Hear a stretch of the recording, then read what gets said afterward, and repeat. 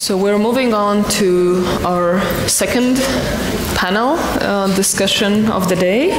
And um, the theme for this discussion is effective public private partnerships to fight financial crime.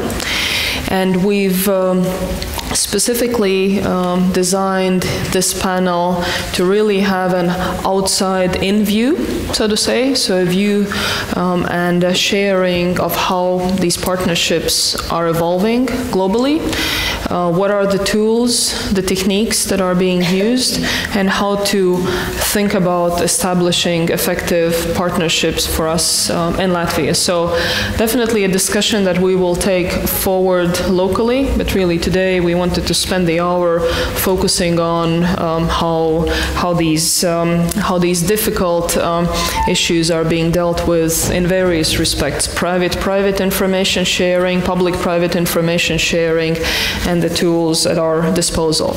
Let me introduce our panelists for this session. Um, we have uh, Rick uh, and Marie uh, from our first panel, and really I see them as co-moderators with me on on these sessions.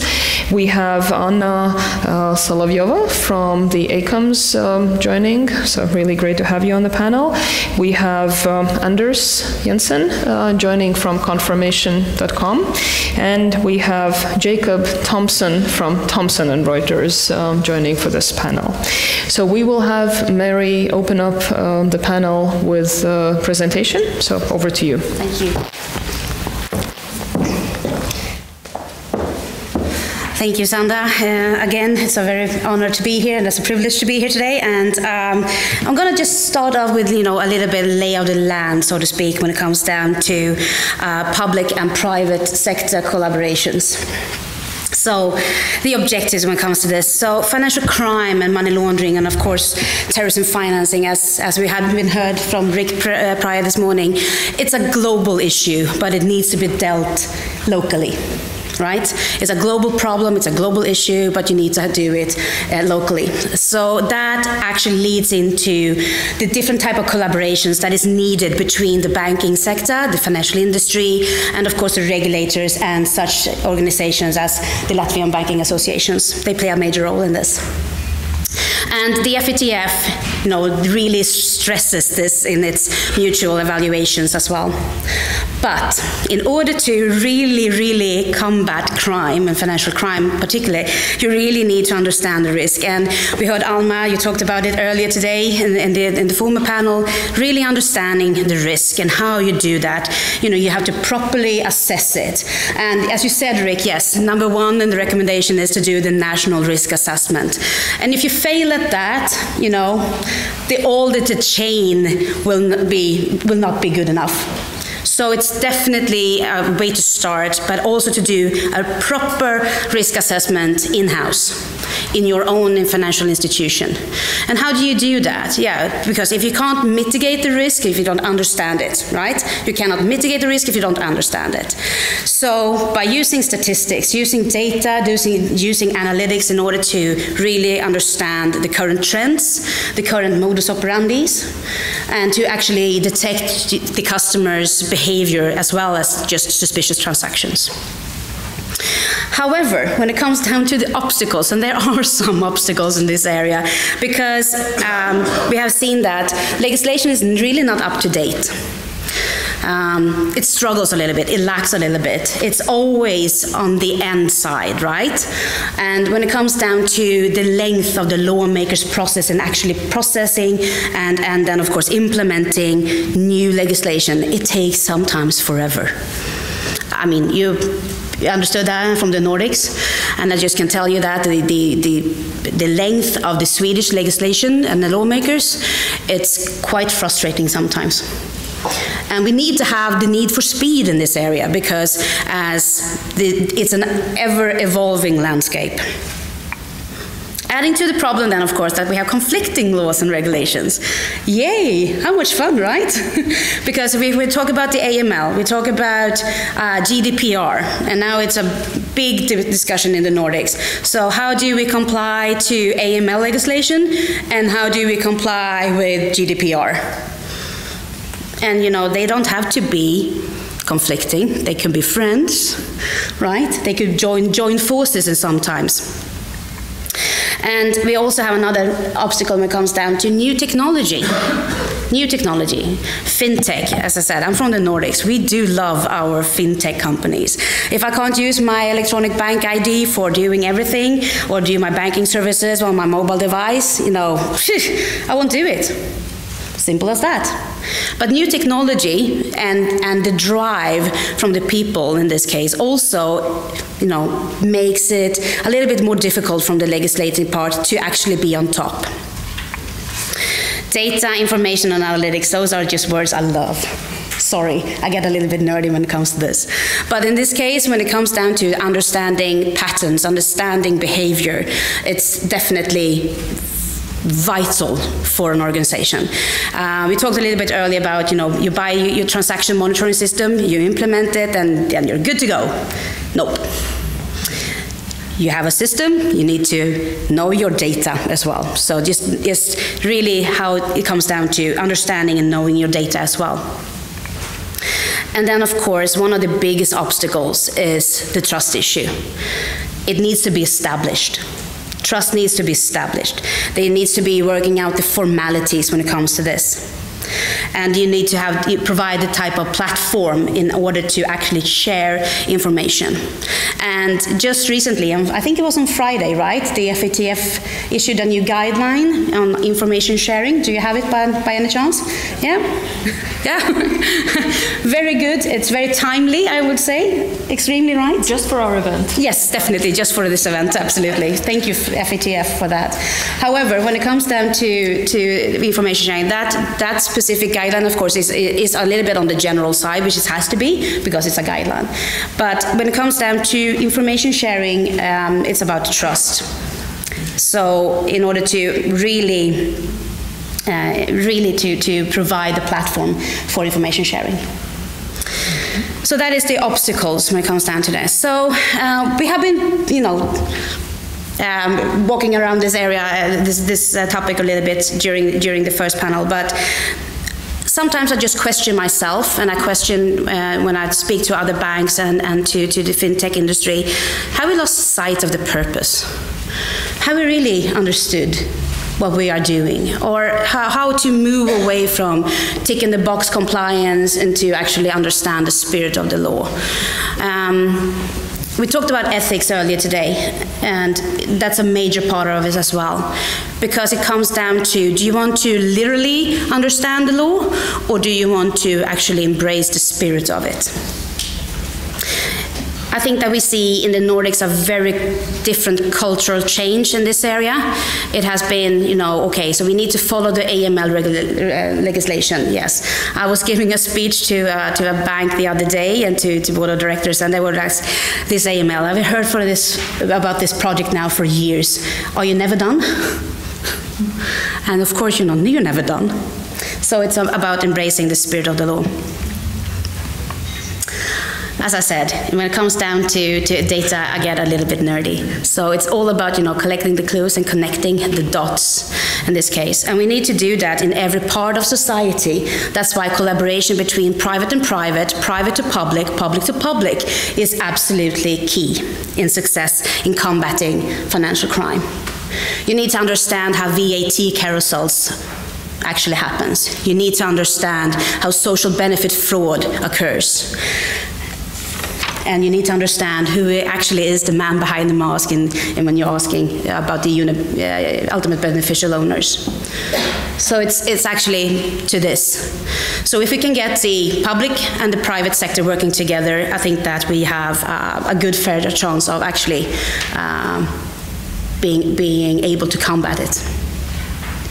So cooperation in reality, how efficient is it? I, I just love the the uh, different um, uh, mutual evaluation reports. Uh, the most recent one, I think, was Ireland, um, September this year, and they had you know a fairly fairly good evaluation. I would say. I think that they were coming out on the on the on the winning side, so to speak. Um, the um, according to the assessors, the FAT assessors, they have a very good, solid collaboration between the public sector, and also in between the private and the public sector when it comes down to their independent uh, FIU. So maybe we should go and study the, the mutual evaluation a little bit for, for Ireland. And in August, we had the uh, review from Denmark. Not so happy just saying that. Um, it started off with no coordinated uh, natural risk assessment and overall inadequate understanding of AML. Yes. I heard somebody giggle over here. Yes, so yes, definitely. Not, not happy campers. And I must say that we, we in Sweden, we were a little bit surprised when we have our mutual evaluation uh, came in in April this year. Um, there are some Swedish friendly FSA, uh, sorry, uh, FATF um, assessors out there, which we are thanking for, uh, because I think that they, it sort of like gave not a really good picture of the lay of the land in Sweden, but fairly okay. Um, we are fairly good in networking, fairly good in collaboration, especially when it comes down to do it internationally, but not on our own home turf. We lack the public sector and the public to public sector not so much co collaboration. And we need to get in order to actually start collaboration more to, and add the, the, uh, the private side to as well to align, to align it. And then uh, the, the, Norwegian one, but that's a few years now, 2014. It already then talked about the role of the internal auditors, and I was like, yay! Finally, somebody's mentioning internal audits um, in the in the 2014 evaluation. But the most remarks that they had there was the, the, limited supervision from the uh, Norwegian FSA.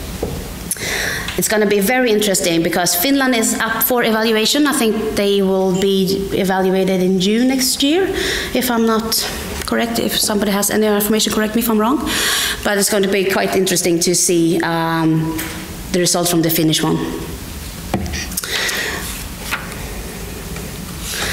So, to, to, conclude, in order to combat um, financial crime, we need to work together, and we need to work together on all types of areas and all fronts.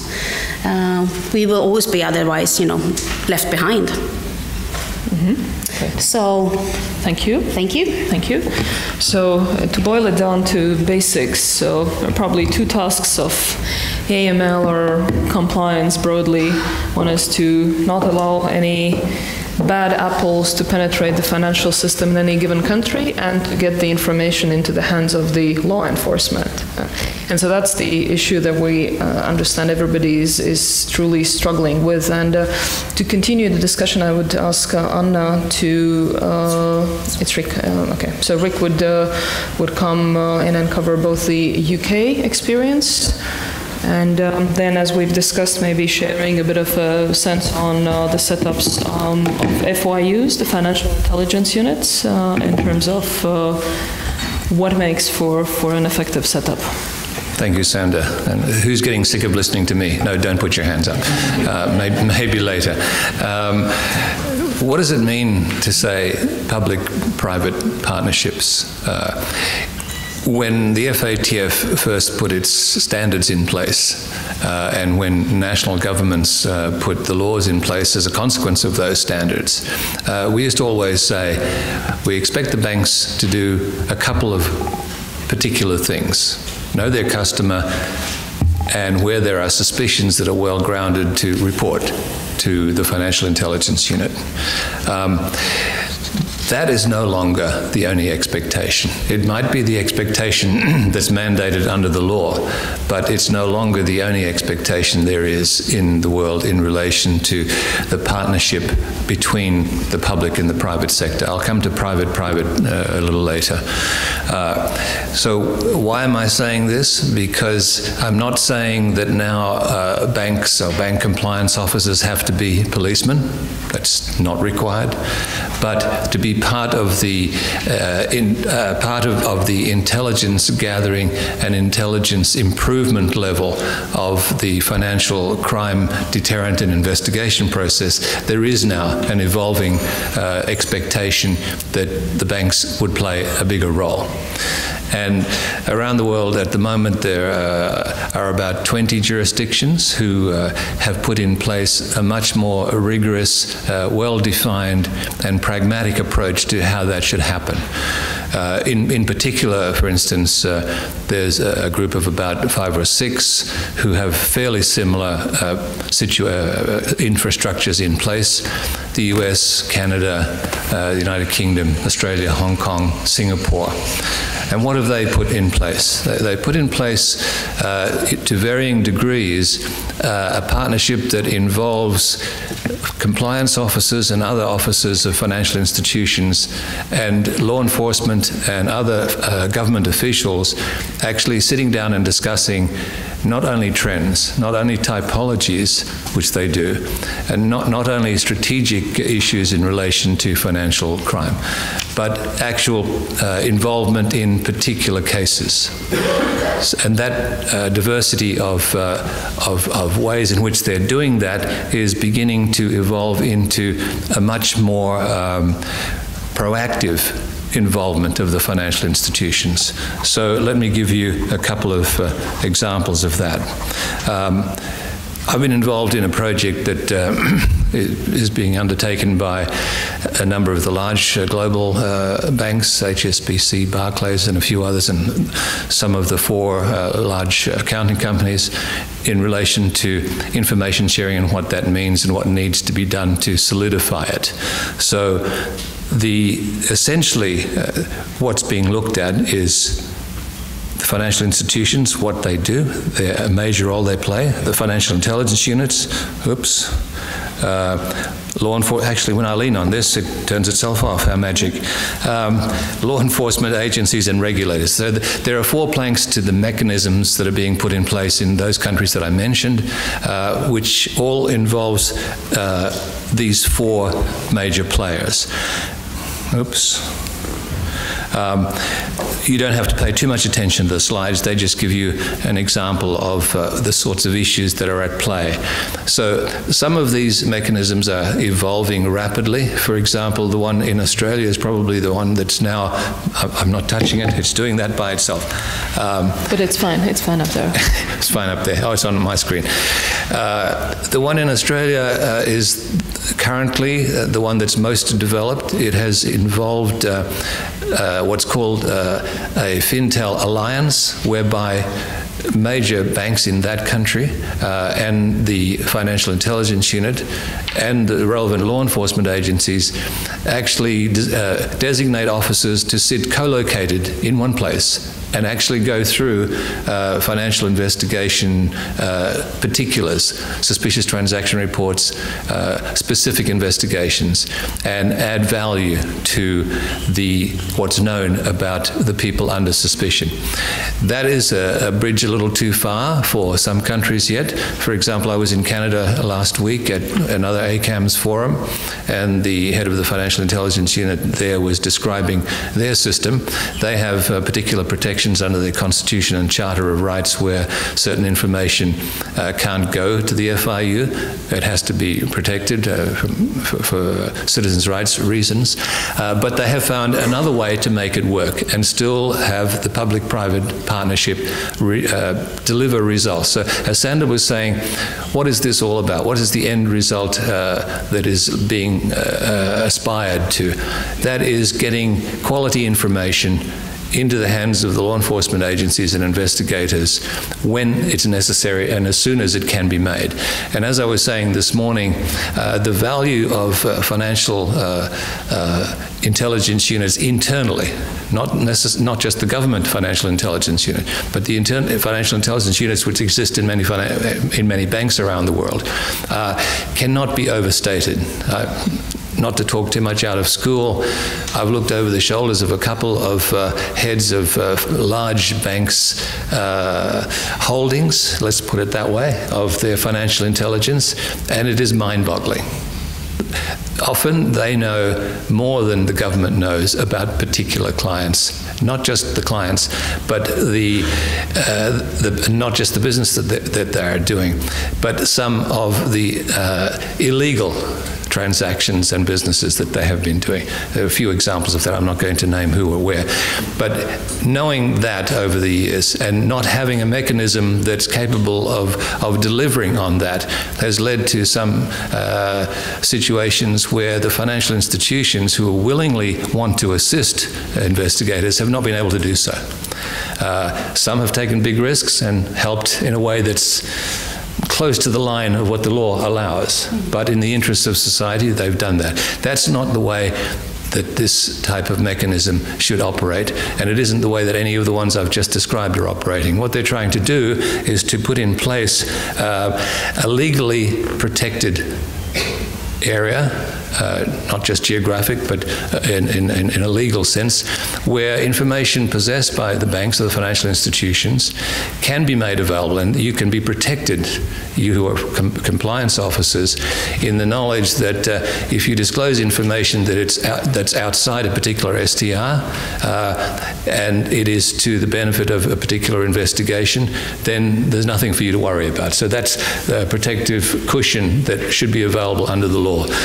Um, Marie was talking about trust. Certainly, there needs to be to be trust involved, and uh, that is gaining much more traction. I mean, I've seen the systems working in Hong Kong and in Singapore and in the UK and JMLIT, the Joint Money Laundering Intelligence Task Force, that, that one is, they're all working well. They're delivering on what they should be delivering on.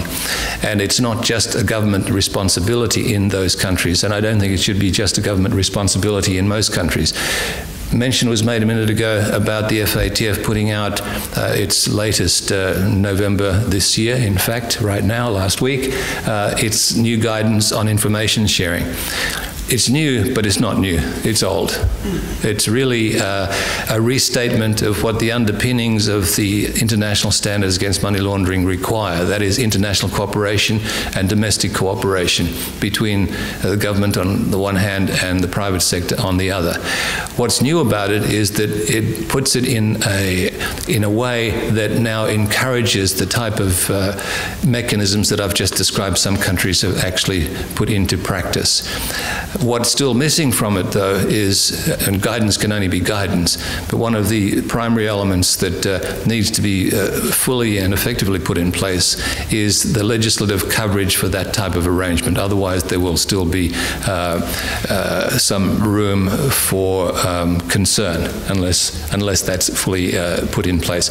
So, the message I'm trying to get across to you really is that financial crime and its effect on society and terrorism and its effect on people is now everyone's responsibility to the degree that they're in a position to take some responsibility for it. That's why the expectation in many countries now is a whole of crime philosophy. It's not just reporting suspicious transactions.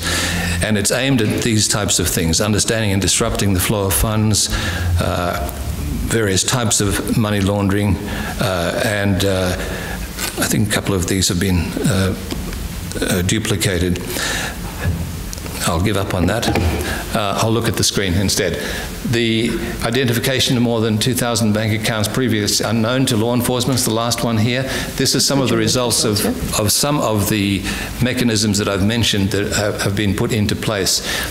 What this shows is, without going through them in particular, is that the combination of the knowledge, experience, intelligence, financial information, and what's up here in the minds of, com of compliance officers being shared with uh, law enforcement and financial intelligence units is actually delivering results that have not been delivered to the degree they have been able to be in the past.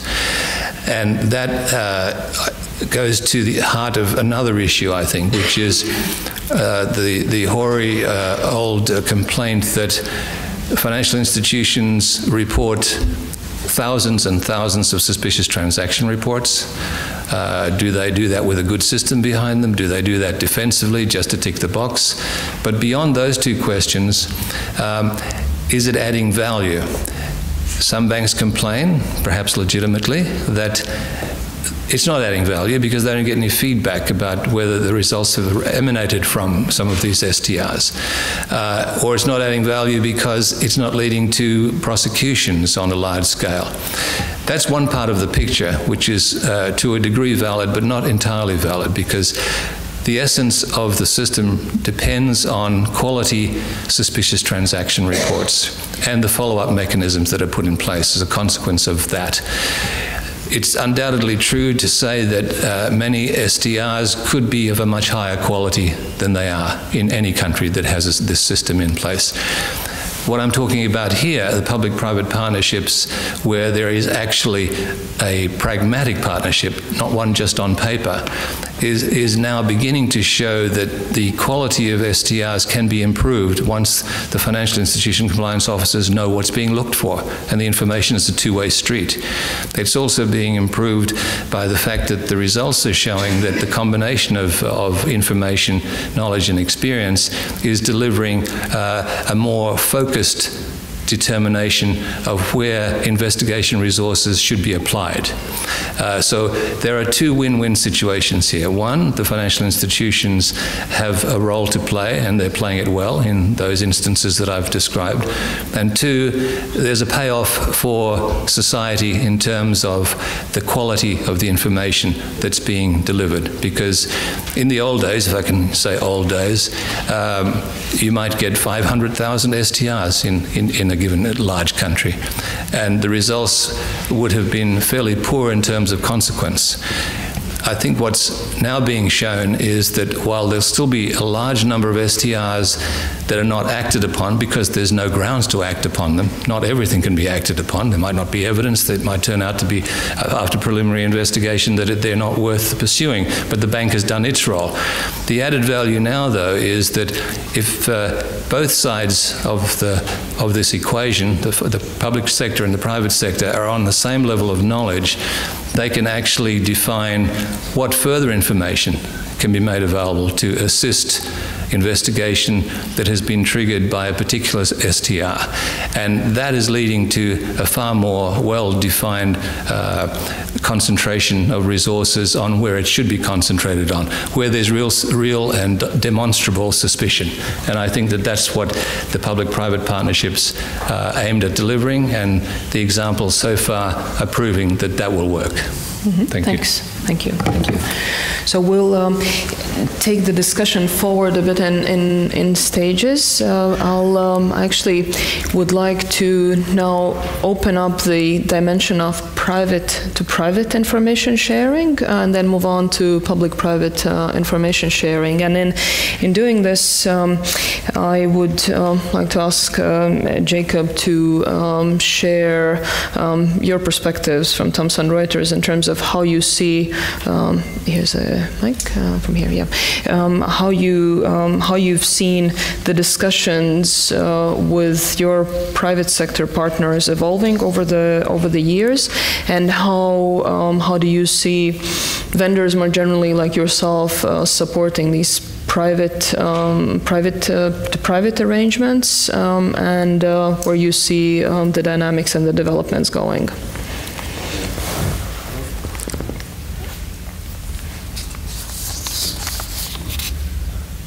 Move it up. It should be should be working. Oh, no, maybe, yeah. Good. Now. You're on. Yep, you're on. Thank you, Sander. Um, so yes, I mean certainly. Um, the need for KYC is well documented and uh, not going away anytime soon. Um, the challenges that KYC presents uh, is, is a burden on a bank, a bank that's trying to be profitable um, and, and, and run, run an effective business. Um, uh, and it's, although genu genuinely and readily accepted as a requirement. Um, so uh, a few years ago now, Thomson Reuters um, uh, started assisting some organizations, financial services organizations with managed services. um, acting almost as an intermediary, collecting uh, documents and creating KYC records um, on behalf of, of banks.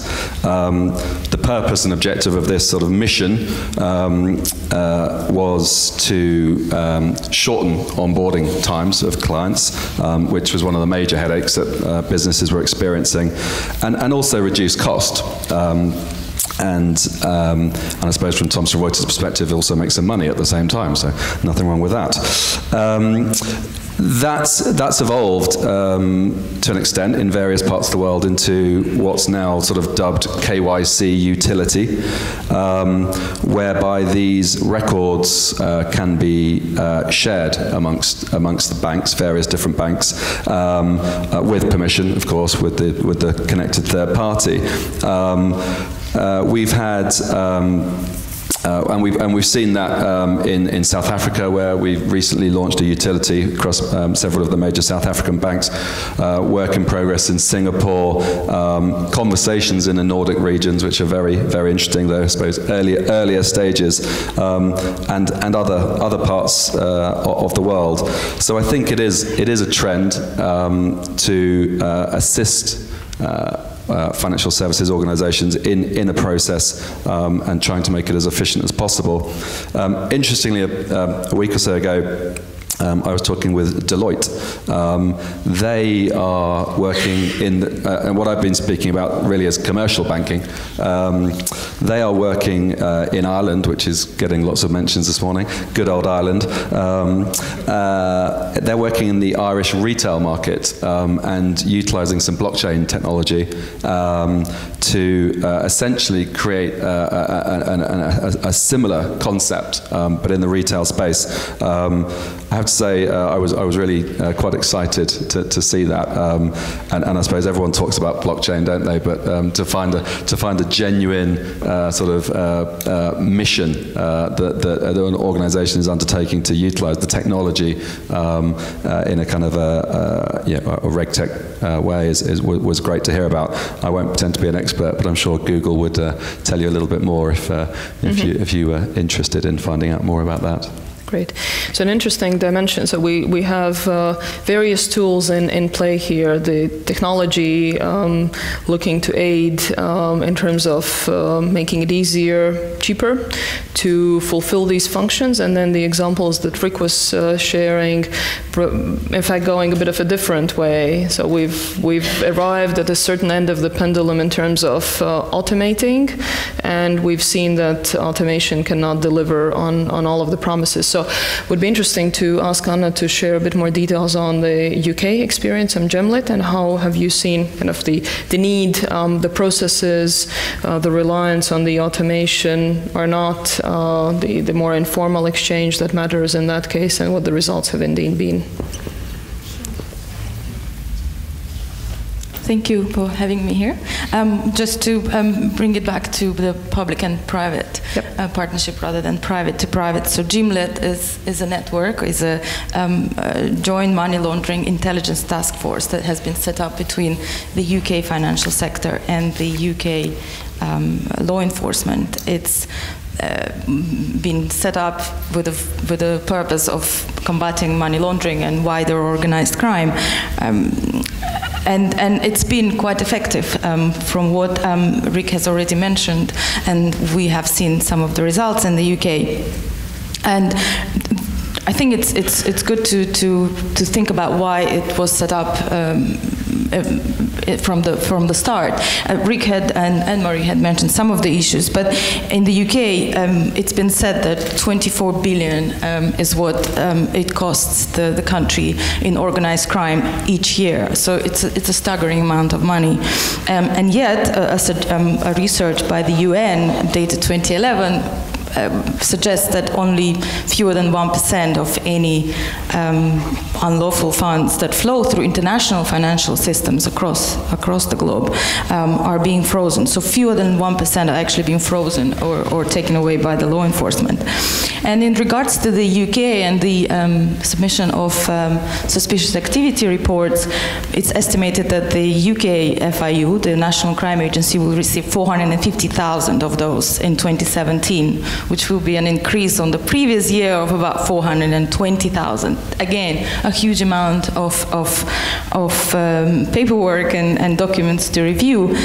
But research suggests that um, 80 to 90 percent of these reports across the international um, global systems, financial systems across the UK, US, and Canada, only 80 to 90 percent will actually uh, will not bring any any immediate value to to law enforcement investigations.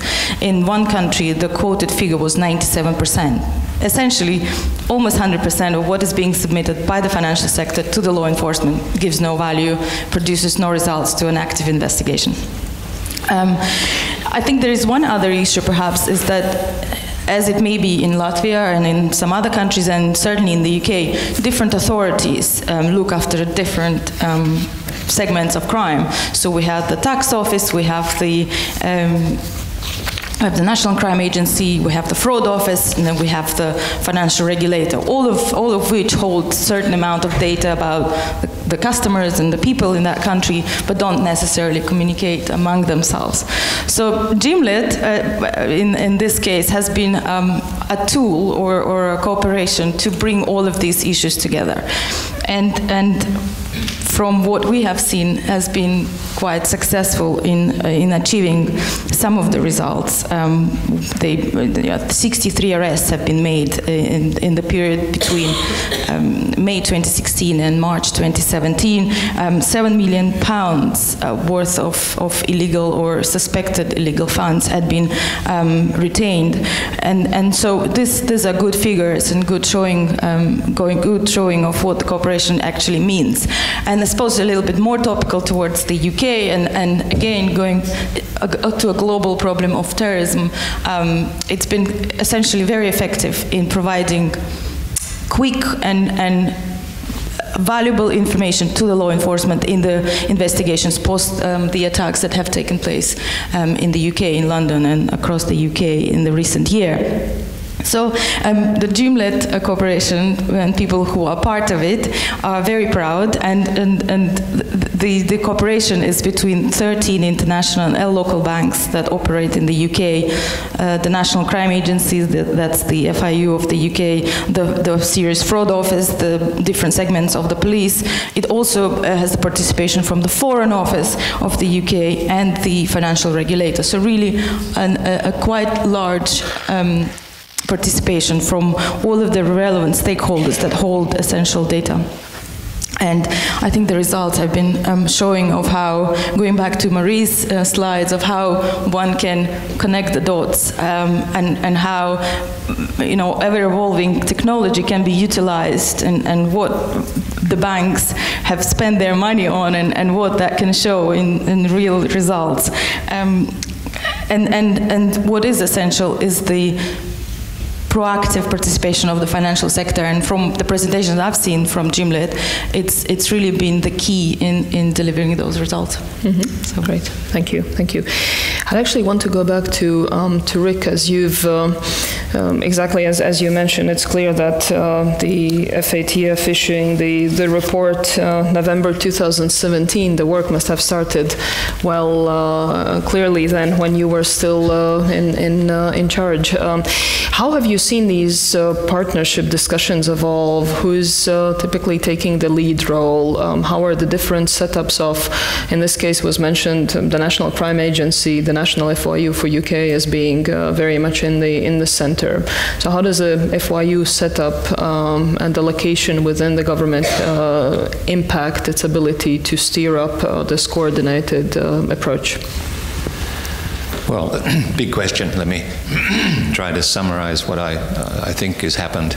Um, it's actually been encouraging to see that it's a two way street, that the idea for this has not come just from one side. It might even be surprising to say that uh, a large part of it actually came from the private sector because the private sector, large financial institutions in particular, who've been hammered over the years, legitimately or otherwise, getting a bit tired of the fact that uh, they're always the ones who are being hammered.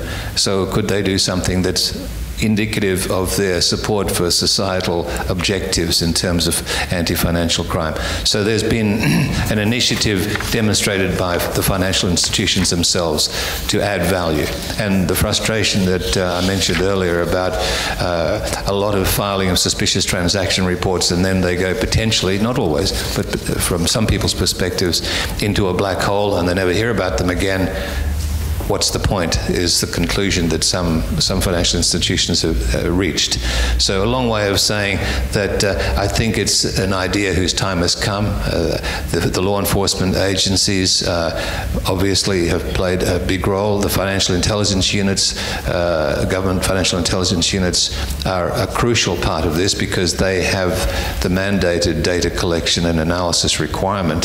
So I think the answer to your first question is that it's been uh, a mutually agreeable uh, way of approaching things to try and improve the results, which will help both sides, both to uh, show from the financial institution side that, that they're part of the solution, not just part of the problem or a, a reporting entity only for its own sake. So I think uh, the, the, the uh, examples, uh, the, the evidence so far indicates that this is working well and it's, it's going to be exported, so to speak into many other countries. Okay, okay. And the second part of the question?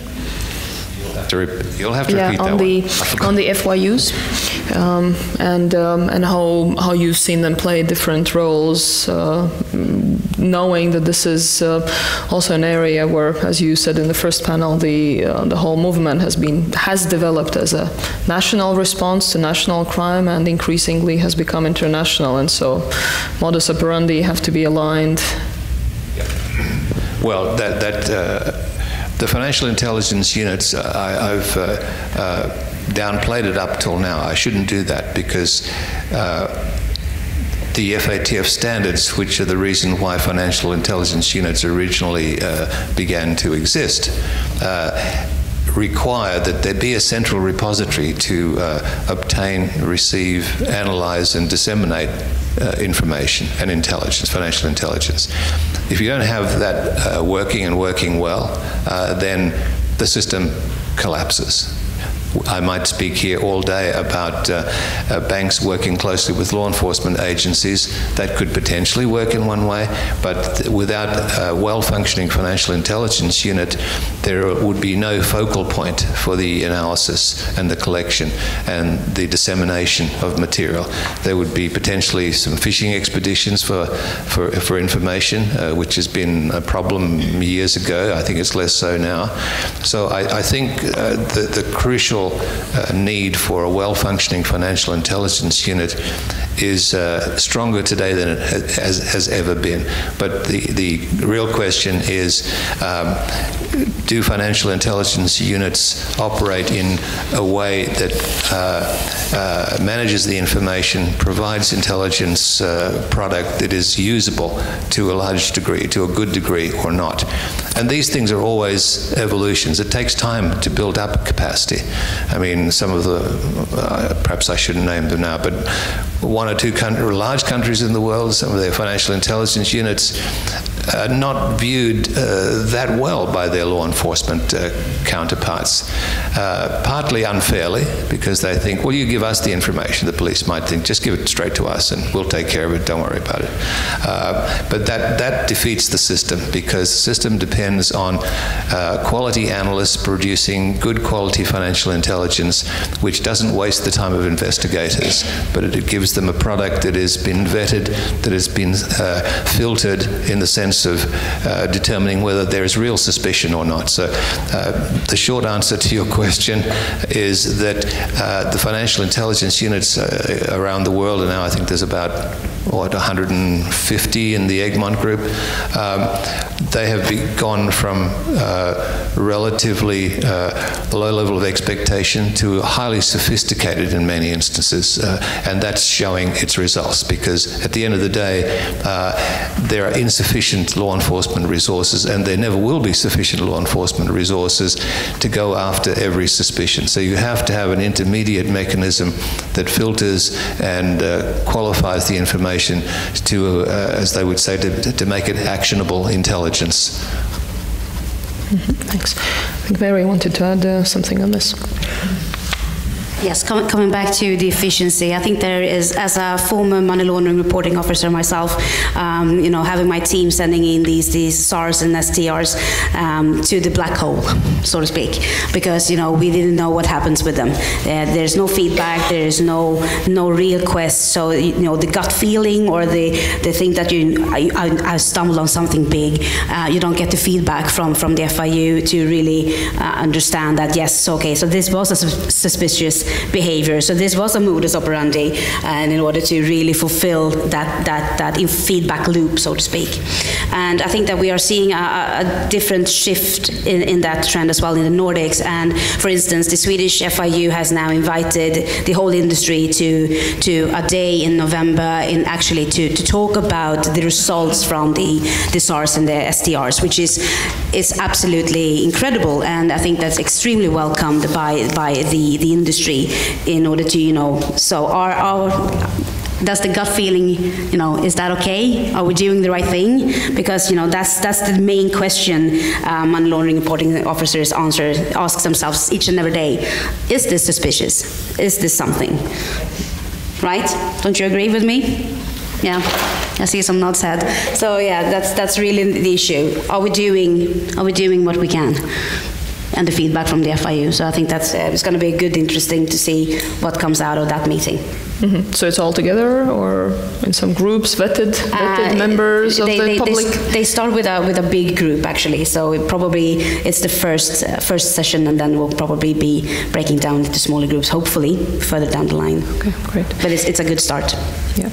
So um, we're also happy to take the questions um, if there are any. Um, so as you as you think of possible questions, I will proceed um, to um, to Anders uh, to talk through a bit about the um, now increasingly available tools and techniques on the side of the financial institutions themselves to mitigate uh, the financial fraud uh, or various dimensions of fraud, and, and your, yours is just one of those. And, and how do you see this uh, fitting in the grander scheme of things as well? yes, thank you. Yeah, thanks for the invite. I was invited here to talk a bit about how fintech, financial technology, can help banks and the industry in uh, preventing financial fraud. Um, I'm not a specialist in AML or um, thank God, in um, terrorist financing, um, even though I used to sign off on these things when I was still a banker. Um, but I know something about financial fraud, and more particular, um, let me give you a few examples uh, about fraud in what we call the audit confirmation process. Um, so here's the deal, and that's what's happening all over the place. It's not a Baltic uh, issue. Um, banks has got a client. Um, banks requires an audit from the client, and uh, the client has a, an auditor. Um, at some point, the auditor will need what we call audit evidence. Um, these are basically the end of year statements, can be simple, can involve trade finance and trading and all that good stuff, in order to compare the books um, with hopefully the reality um, in terms of banking uh, statements. So let me tell you what happens, and then afterwards I will tell you why banks should be concerned and why they should care about this. Um, so what happens today, again, not a local issue, it goes on in Germany, in France, in Tokyo. Um, we see it all over the place and hear about it.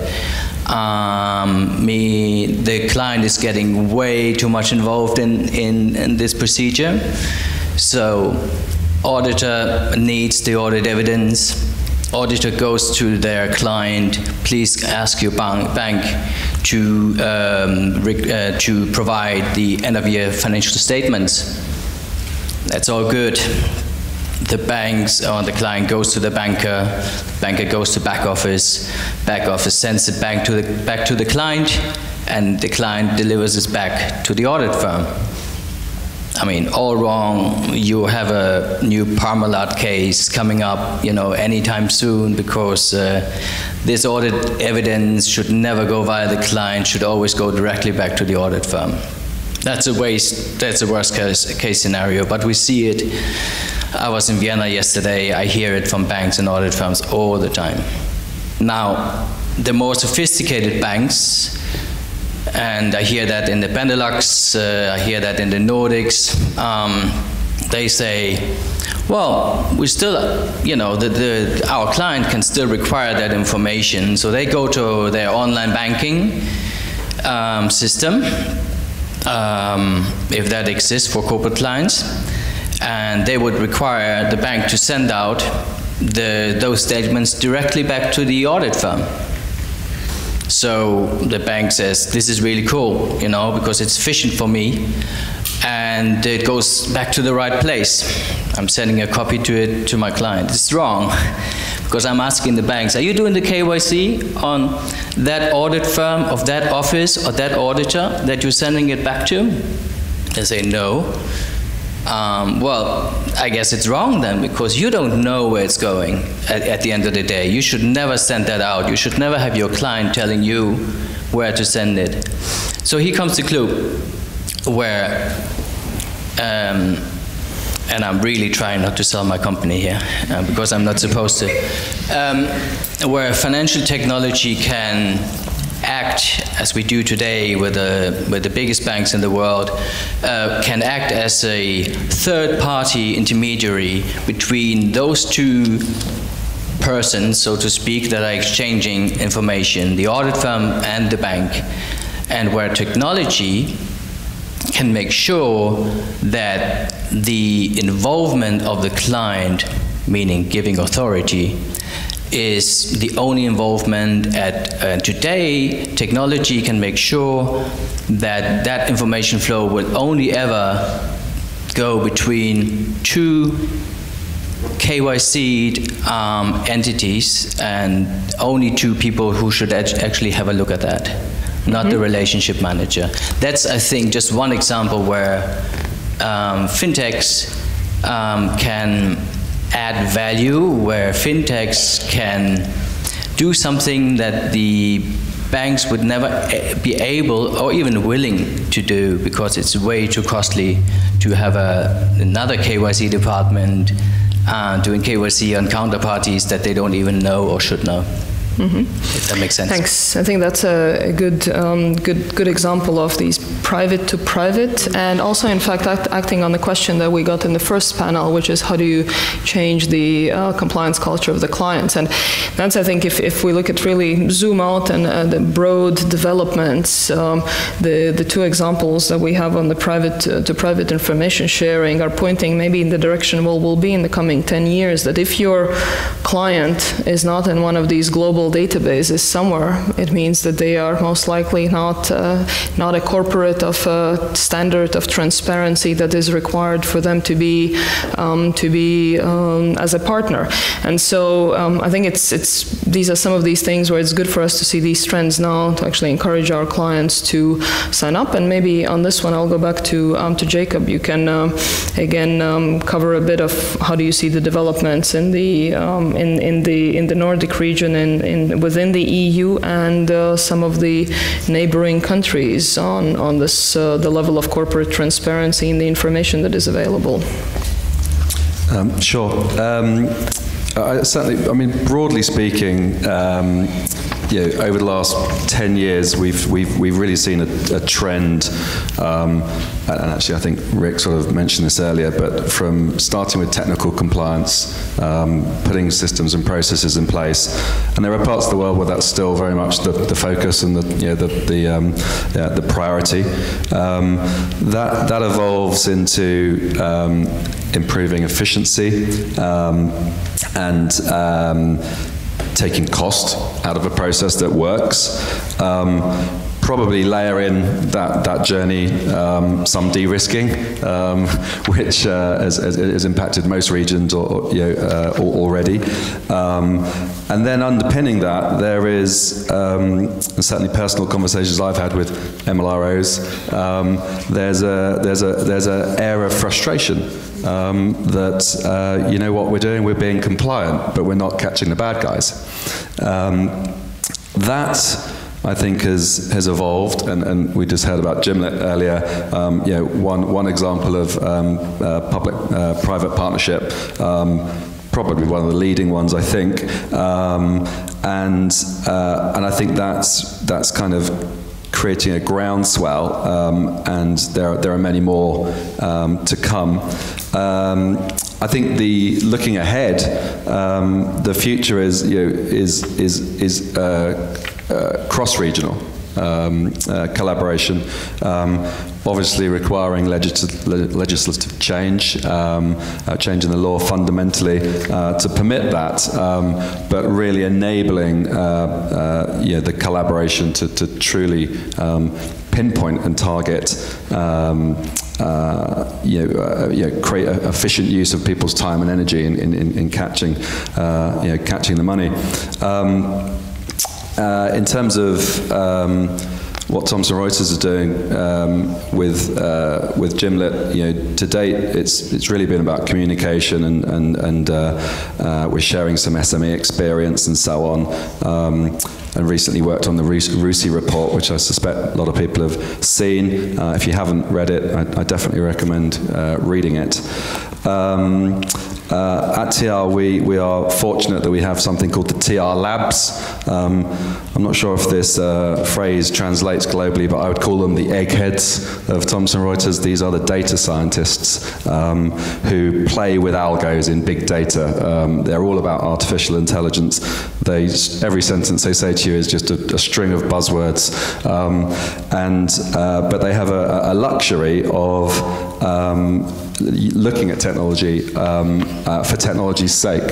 Um, with, with JMLIT, we're actually looking at uh, how we can apply some of uh, the amazing work that they do um, to extract from big data um, suspicious activity, um, help uh, law enforcement uh, communicate and target more effectively um, uh, with, with the banks. Um, this is in its infancy, it's fair to say, um, but something that we're looking at uh, pursuing in, in the future. So exciting times, mm -hmm. I think.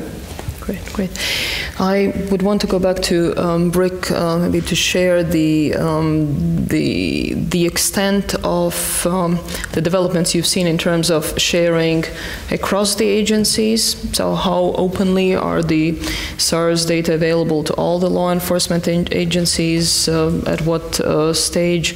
How do we um, see the the data techniques being uh, put uh, put to use uh, on on those and and then um, in terms of the, uh, I'll, I'll, stop there. I'll have, a, I'll have a second question for you.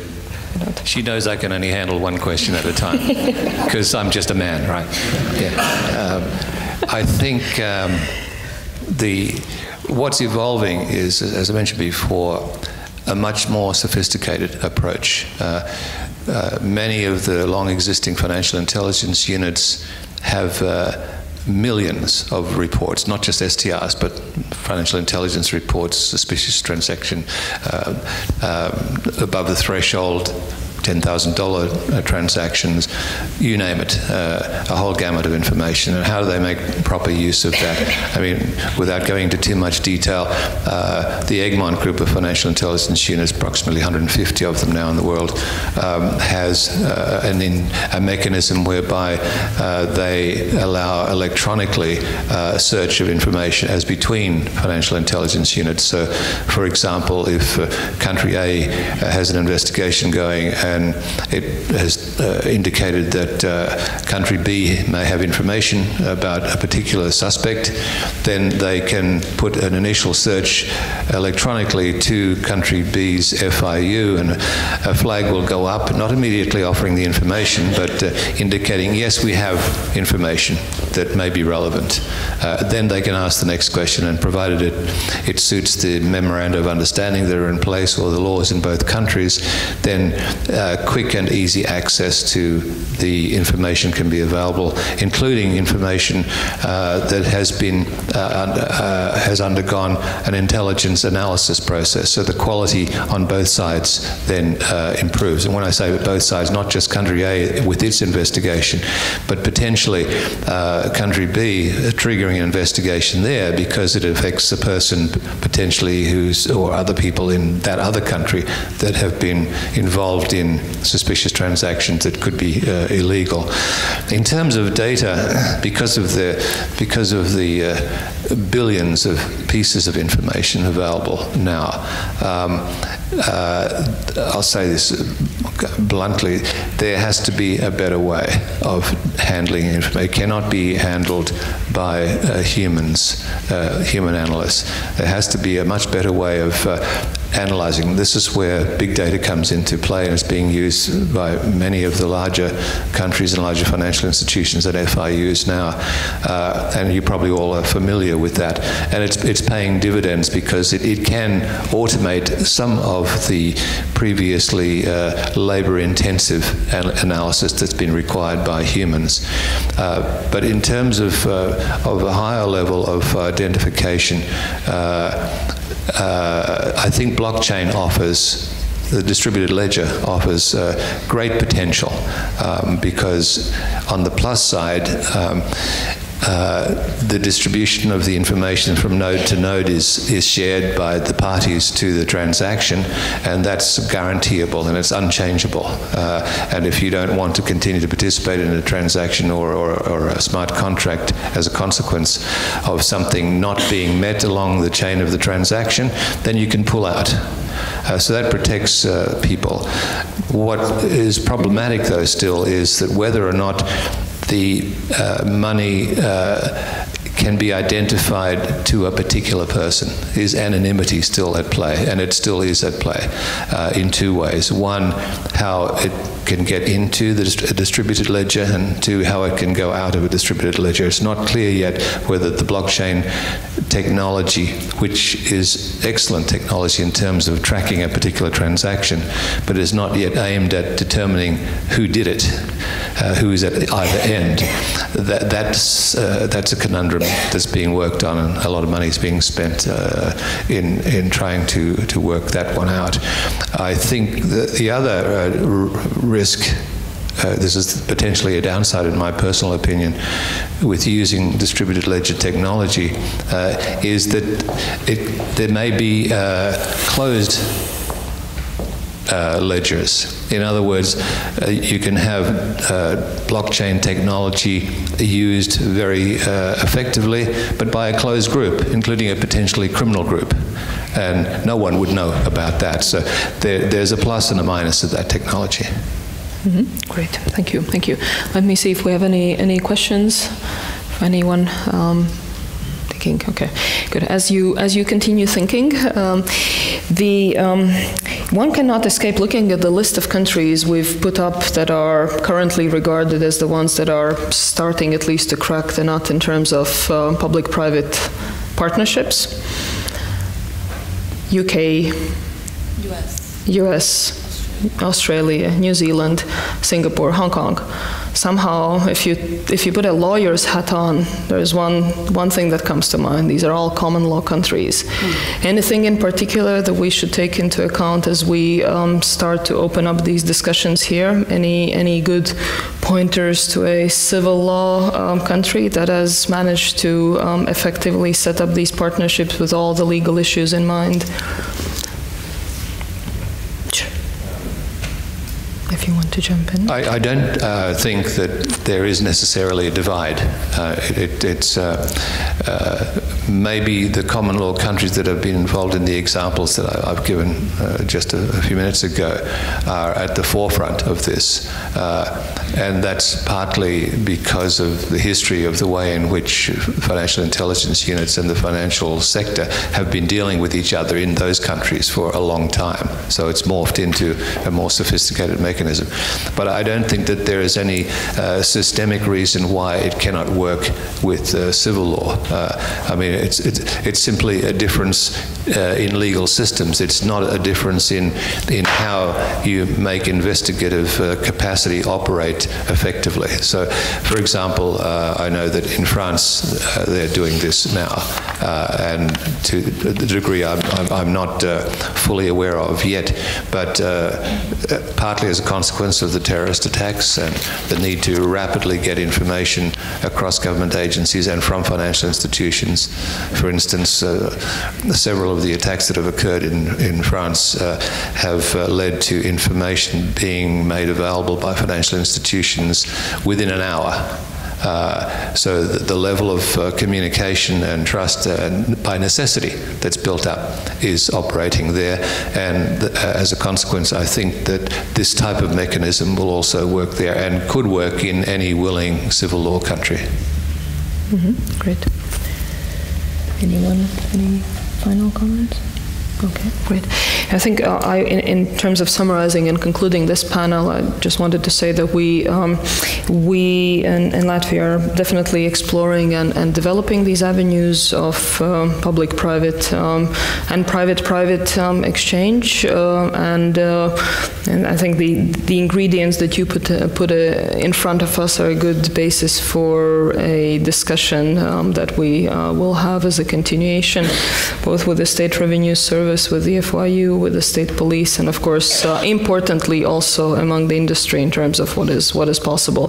Because the one thing that strikes um, uh, strikes as we um, as we see and, and listen on the developments is that all the global banks have concentrated their FIUs right, and created their own FIUs, essentially the financial crime uh, units that are um, that are better probably than any given um, ability of any smaller or smaller country. And if we want to be part of any any international uh, banking developments, we need to find ways to compensate for for that. So that's a good um, good food for thought for us. Um, and uh, let me thank our panelists with a good round of applause.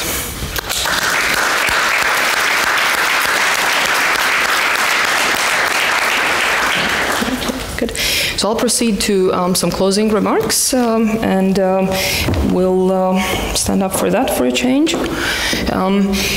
So in terms of the um, in terms of the discussion today, um, we've um, managed to cover, I think, two very very important topics: the culture of uh, compliance, the tone um, from the top, and in terms of the key um, key takeaways from um, that discussion, is clear that the the culture, the issues around the culture, whether in compliance, the risk management culture, or the internal audits role. Uh, will be the glue that will help us move forward from the um, from the discussion of uh, what are the processes, procedures, and IT systems that we have in place to being a trusted partner to our um, global um, global and regional partners in, in making sure that they can trust our systems uh, in, in terms of the, the risk approaches um, that we have in place. And um, the, my colleagues have been using uh, quotes here before, but I think one quote that befits here is the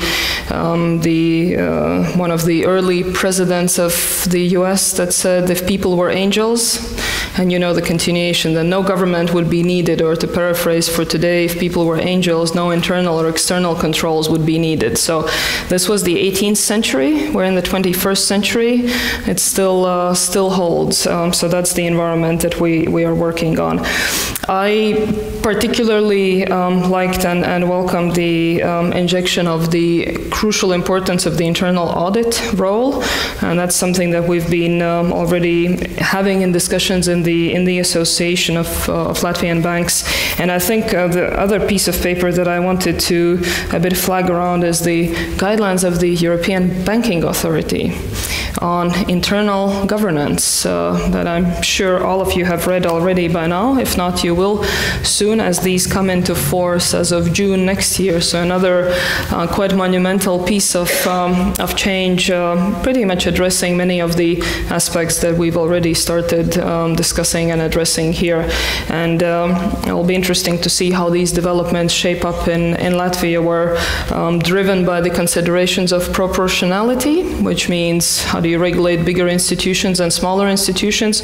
There are actually provisions that allow smaller institutions on the European scale combine the compliance and the risk management uh, functions, but in the internal audit staying separately. And again, I think this is, um, if, if you reflect on that and reflect on the discussions that our um, North American colleagues have, uh, have highlighted, there's a bit of a divergence in, in, the, in uh, not in the underlying concepts, but in the way we talk about the same issues. One is more driven through the prism of risk culture, and through the prism of corporate governance, and the other one is driven much more um, through the uh, through the angle of the of the assessments, the independent testing, um, and and the uh, the compliance and the BSA. So we'll have to, as uh, all of the countries that are working at the intersection of the European and the U.S. Uh, regulations, will have to find a way to marry these. And um, in terms of um, us taking steps to implement, um, I would highlight the the guidelines that the association has adopted over um, over the summer, in fact, in, in development, and then our council, uh, the eight CEOs of the Latvian banks uh, that are in the council of the association endorsed in um, in uh, October, um, that um, already spell out uh, quite a lot of issues around the the culture of compliance, the specific tools and techniques that we need to have in place, including, uh, but not least, also um, guide, guidelines on uh, on external assessment. So in many ways, also through through these exercises, we are a bit further. If you look at three lines of defense, and pretty much we have a regulator mandated fourth line of defense in, in play already um, today. In terms of the the takeaways from the second um, second panel, um, I think um, again a, a, good food for thought for us, and and uh, quite a clear um, both timeline and also a clear sense of how we proceed from here. It's very clear that we will need to do a proper legislative analysis for how are the um, the arrangements uh, put in place uh, in Latvia for private to private and private to public information sharing. At the same time as we proceed uh, cautiously um, in, in, in detailed discussions with the relevant government agencies, for which I can say we've uh, received full support. And so, again, knowing that we're working with the concepts that are very much much in development, as our colleagues here, here have uh, shown that there are no right answers to any of these questions. We will have to find them ourselves in many ways. Um, so that's the spirit in which we will uh, we will take this uh, forward. And the the quest for um, effectiveness uh, will be um, clearly. Driven and and uh, and uh, and brought to a, a new level through the Moneyval assessment that is currently ongoing. And uh, Rick, how many countries have gone through the fifth assessment? You said about about 35. About 35. So we'll be we'll be again among the um, not so many of uh, of definitely the European countries that have gone through the fifth round of assessment, as the assessments that um, that uh, Mary was referring to were still a fourth round assessment. So a bit of a different lens there. So that's the um, that's where the effectiveness discussion will come in play, and we from the side of the association will continue to um, try to play a role of convener and uh, and putting out some of these sometimes uncomfortable, but the the issues that we feel uh, merit the discussion and the issues that we feel only through engaging um, and opening up um, these discussions, whether it be on on how the Latvian banking sector serves the offshore customers or um, how do we deal with the external assessments. This is what we will continue, and uh, we will um, continue with the various uh, training um, and seminar like events um, here um, and uh, look forward to seeing you in those. And as we conclude, um, let me thank um, again our uh, host, um, Bank of Latvia today, for um, having uh, uh, the event uh, on the premises. I see Mr. Nikitins here, so personal thanks to you as well. Um, let me thank um, our content partners um, who've uh, made the event uh, possible and enriched through the discussions. Um, so um, our colleague from Navigant, thanks our colleagues from Cobalt uh, Latvia, colleagues from Thomson Reuters and Confirmation.com, and uh, absolutely tremendous thanks to ACAMS team for helping uh, both prepare, facilitate, and ensure that we have a, a full panel of uh, distinguished speakers that can uh, cover the topics, the difficult topics that we've put uh, put forward for us to really be able to reach the next level of um, of discussion. So to have enough of time still for networking, uh, I will conclude here, and um, we can still um, continue some of the discussions offline as well here. Tremendous thanks.